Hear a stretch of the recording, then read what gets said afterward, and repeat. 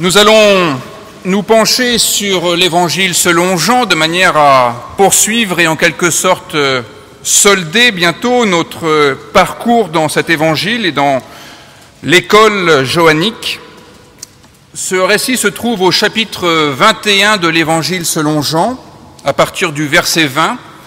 Ce sont donc des versets qui interviennent après Pâques, après le récit d'apparition de Jésus. Et voici ce que le rédacteur nous propose. Pierre se retourna et vit venir à leur suite le disciple que Jésus aimait, celui qui, pendant le souper, s'était penché sur la poitrine de Jésus et avait dit, Seigneur, qui est celui qui te livre? En le voyant, Pierre dit à Jésus, Et celui-ci, Seigneur, que lui arrivera-t-il? Jésus lui dit, Si je veux qu'il demeure jusqu'à ce que je vienne, que t'importe Toi, suis-moi. Là-dessus, le bruit se répandit parmi les frères que ce disciple ne mourrait pas. Pourtant, Jésus ne lui avait pas dit qu'il ne mourrait pas, mais si je veux qu'il demeure jusqu'à ce que je vienne, que t'importe C'est ce disciple qui rend témoignage de ces choses et qui les a écrites. Et nous savons que son témoignage est vrai. Jésus a fait encore beaucoup d'autres choses et si on les écrivait en détail, je ne pense pas que le monde même pourrait contenir les livres qu'on écrirait. C'est ainsi que s'achève l'évangile selon Jean. Ouvrons notre recueil de chants Louanges et prières au cantique 193. Nous allons chanter les strophes 1, 2 et 3 de cette prière, cantique 193.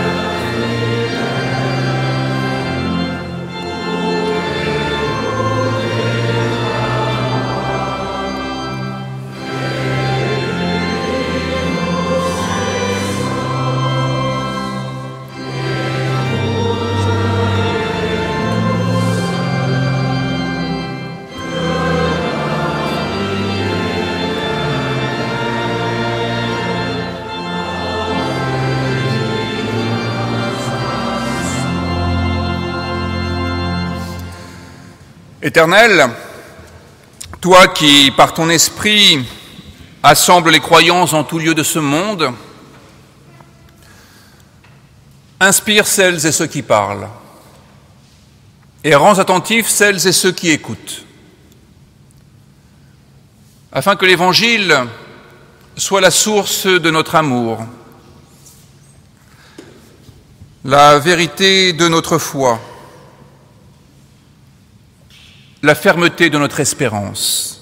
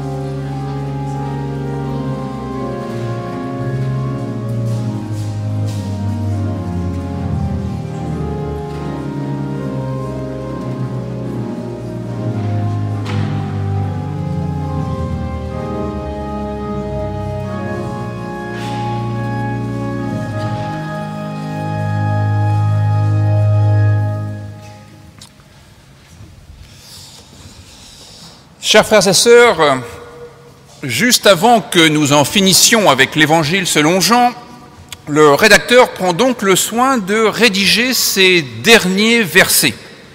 Encore quelques phrases, les dernières que nous emporterons avec nous avant de refermer le livre. Dernière phrase avant la fin de la catéchèse joannique. Et en fait, c'était là mon effroi de cette semaine.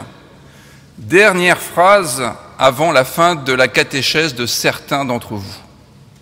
Les paroles ultimes avant le culte de Pentecôte le mois prochain, où certains seront baptisés, d'autres confirmés dans la grâce qui leur a été exprimée dans leur baptême. Il est donc utile et précieux que nous entendions ces derniers versets de l'Évangile selon Jean qui sont, me semble-t-il, comme une dernière mise au point, après tout ce que vous avez enregistré, peut-être parfois assimilé, quelques mises au point pour que votre perspective soit juste. Première mise au point relative à la mort. Manifestement, à l'époque où l'évangile a été rédigé, c'est-à-dire dans les années 90, 100, donc vous voyez, de nombreuses années après les événements qu'il raconte, le bruit courait, une rumeur, le bruit courait que le disciple bien-aimé ne mourrait pas. Et à cause de cette phrase, si je veux qu'il demeure jusqu'à ce que je vienne, que t'importe? Pour certains, cela avait suffi pour penser que le disciple bien-aimé aurait un statut à part et que, contrairement aux autres, il ne mourrait pas. Cela a fait dire à quelques commentateurs que ce disciple bien-aimé devait être Lazare, Lazare dont l'évangile de Jean raconte la résurrection. Et l'idée est la suivante, si Lazare a été ressuscité par Jésus, il est cohérent qu'il ne meure plus. Lazare serait-il parmi nous ce matin? Aurait-il les traits d'un adolescent, d'un senior ou pire que cela? Cette rumeur, bien sûr, est un malentendu. Un malentendu que l'évangéliste s'efforce de dissiper. Cette rumeur laissait entendre que l'un des disciples échapperait à la mort, et le rédacteur neutralise cette rumeur en restituant les paroles d'origine et en attribuant cette correction au disciple bien-aimé lui-même. Comme cela, plus d'erreur. Personne n'échappera à la mort. C'est presque une bonne nouvelle. Pas plus le disciple bien-aimé qu'un autre.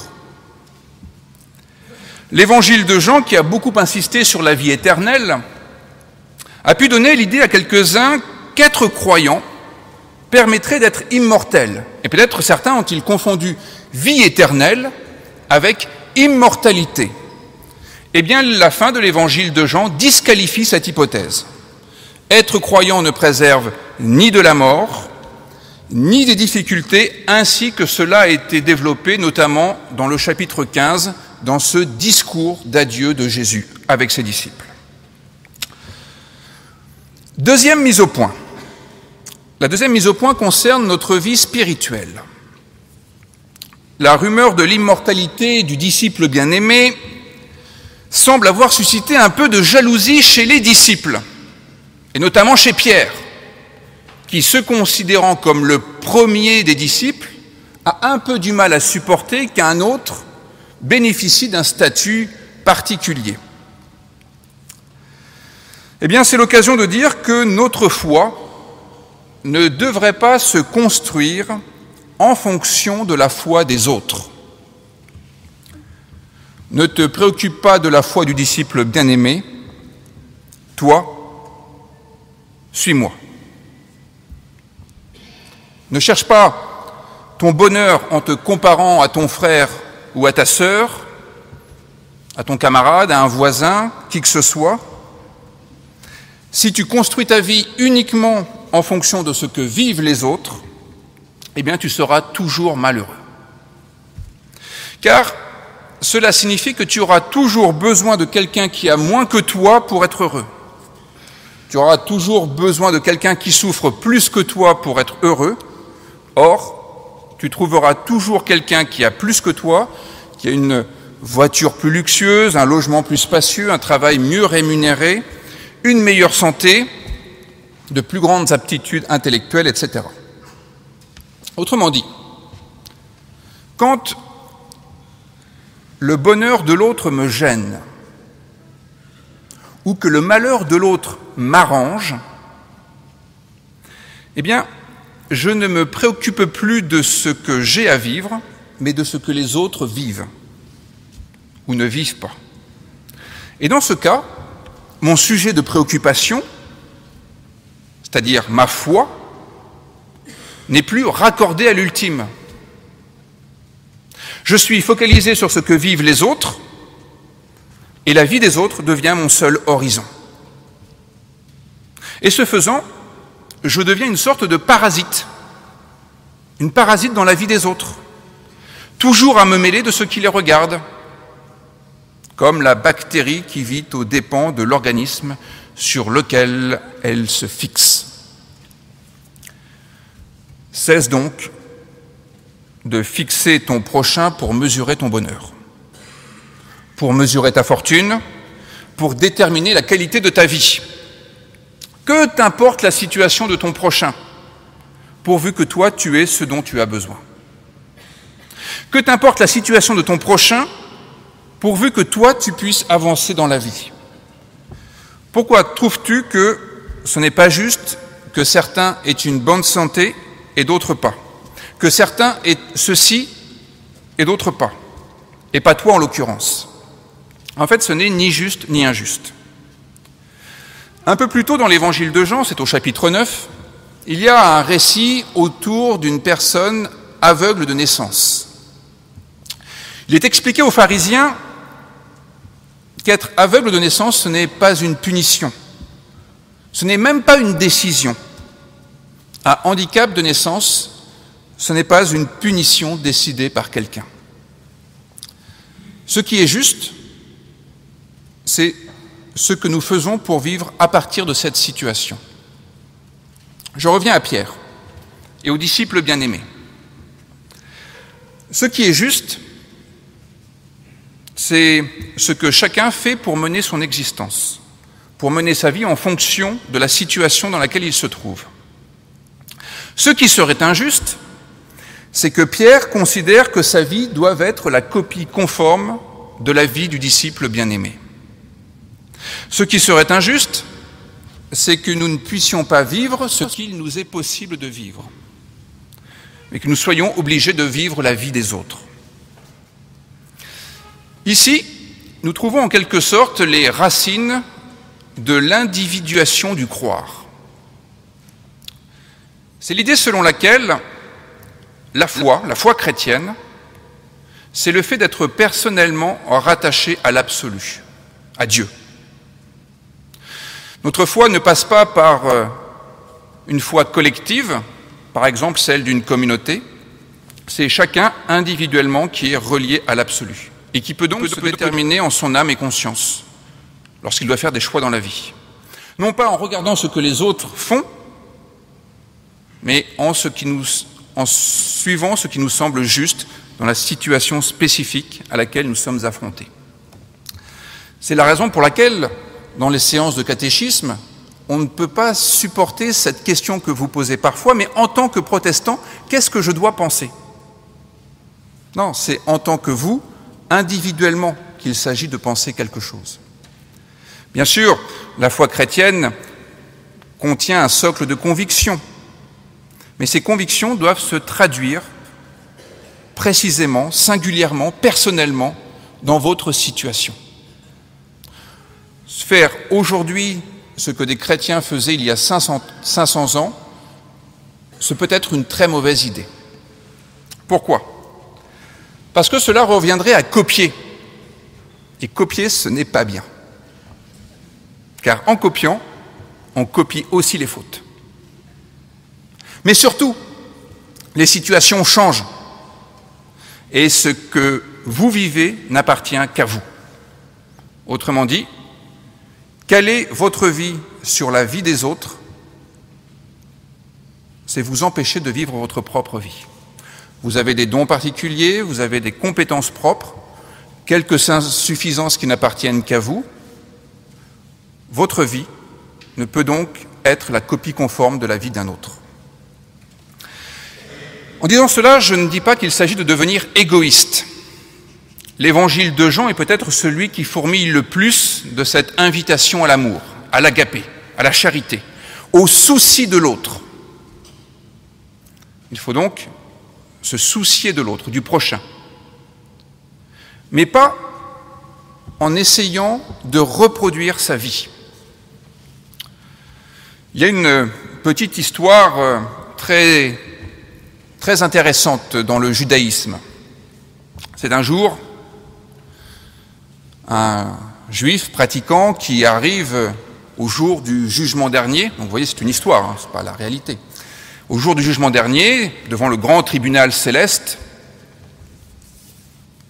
à votre avis, qu'est-ce que Dieu va lui demander? Va-t-il lui reprocher de ne pas avoir été comme Abraham, de ne pas avoir été comme Moïse, de ne pas avoir été comme Élie? Non. La seule chose qu'il pourrait lui reprocher, c'est de ne pas avoir été lui-même. Il s'agit donc de considérer ce qui est juste et bon d'accomplir dans le monde sans se demander si c'est mieux ou moins bien que ce que fait notre prochain. En disant toi, suis-moi, l'Évangile fait appel à toi avec tes potentialités. À toi de, de donner ta démesure.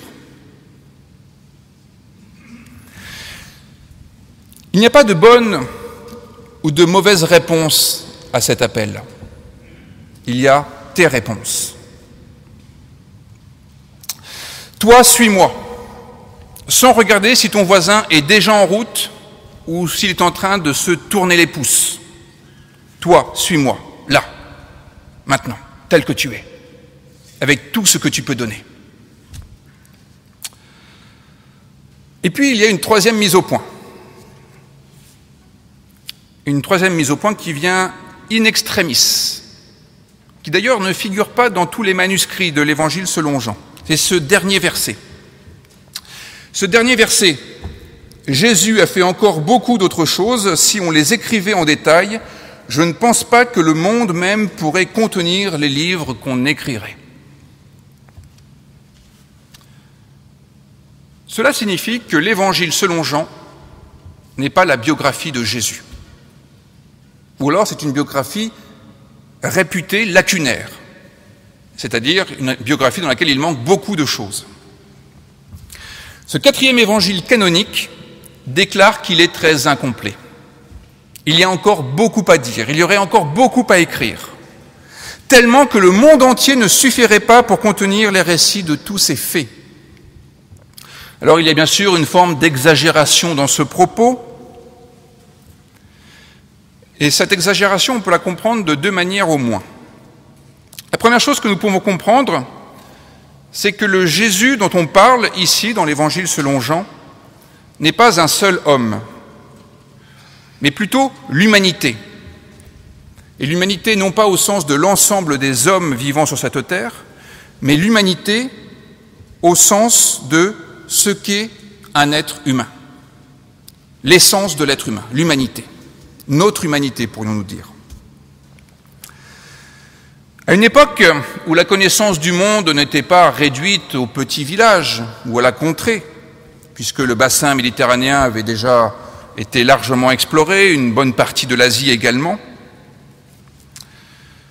dire que le monde ne suffit pas pour contenir la biographie de Jésus, c'est poser que le Jésus dont on parle n'est pas limité à un seul homme. Souvenons-nous que l'évangile de Jean commence par ce prologue ces versets qui disent que le Jésus dont on va parler, c'est Dieu qui plante sa tente parmi les hommes. C'est le Logos qui se fait chair. C'est la parole divine qui devient histoire. C'est la vie authentique qui devient visible, palpable, tangible, manifeste. C'est l'histoire de l'humanité véritable. Qu'est-ce qu'être humain et donc la perspective de l'évangile selon Jean est bien plus large que la seule histoire d'un seul homme ayant vécu quelques dizaines d'années en Galilée et qui est mort à Jérusalem. Jésus, dans l'évangile, dans les évangiles, devient cette figure récapitulative, le symbole de l'humanité.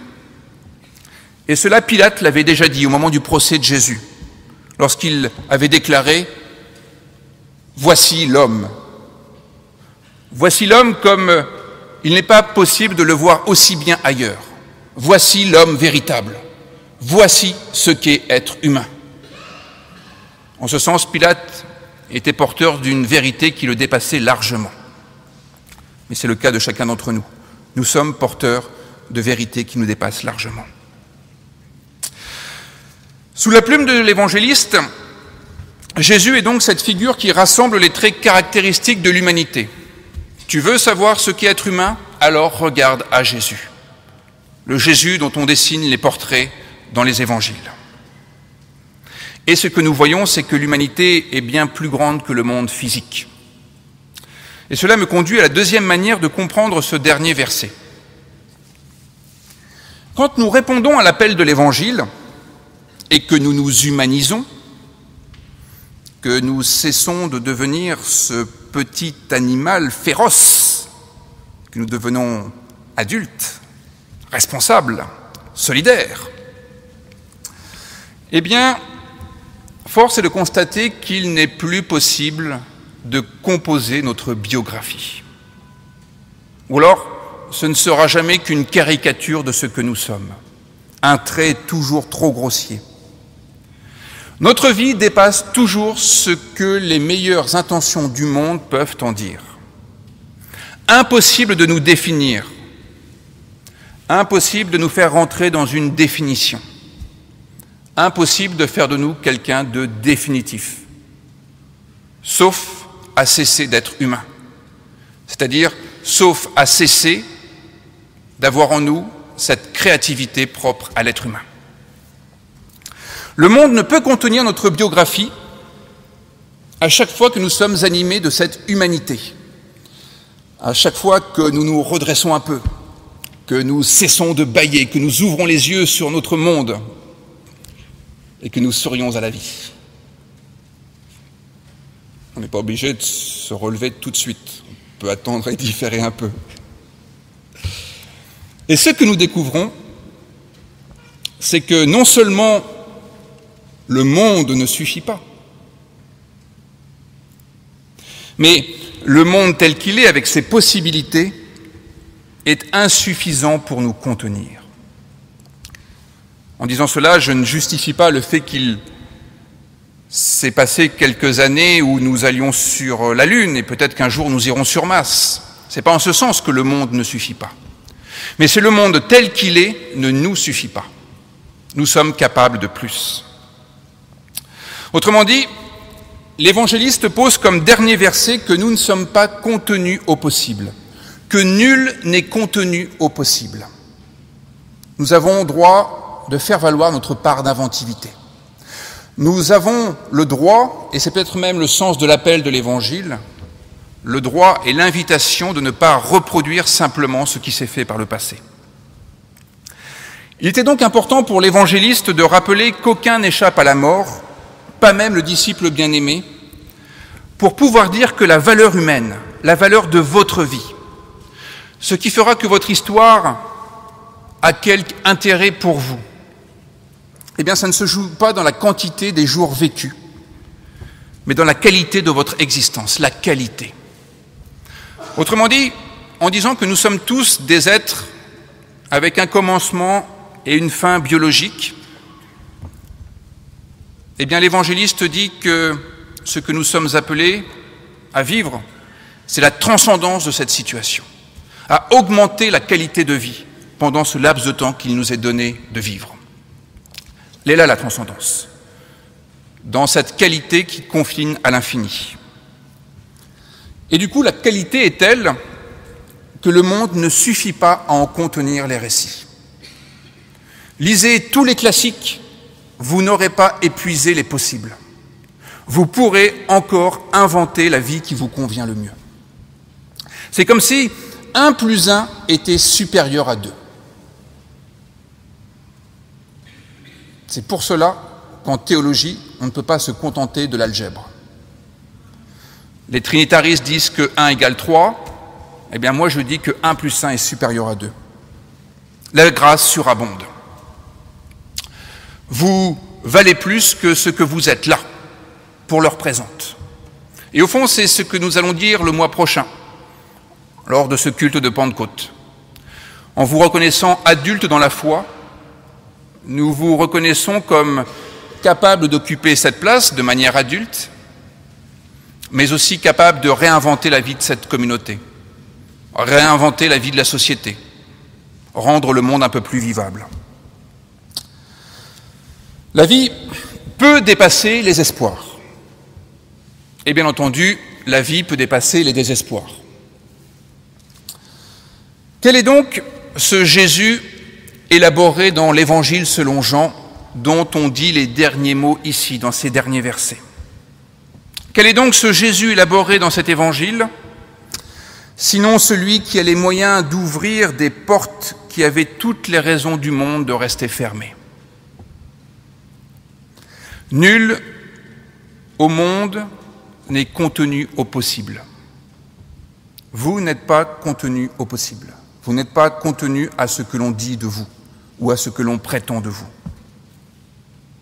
Ainsi s'achève cet évangile de Jean sur l'infini, une porte ouverte sur une histoire qui reste totalement à écrire. Non pas en recopiant sur votre voisin ce qu'il a commencé à rédiger, mais en composant votre propre partition. D'où le sens de ce petit travail qui vous a fait suer sang et eau, qui est Dieu pour moi Car il est inutile de savoir qui est Dieu pour les autres. Si c'est intéressant pour mieux comprendre l'autre. Mais avant toute chose, il s'agit de comprendre qui est Dieu pour moi. C'est ainsi que notre vie cesse d'être marquée par euh, la jalousie de l'autre ou les frustrations de ne pas être l'autre ou les regrets de ne pas être l'autre, parce que notre vie devient la réponse que nous apportons à cet appel, le seul qui vaille vraiment, toi, suis-moi. Amen.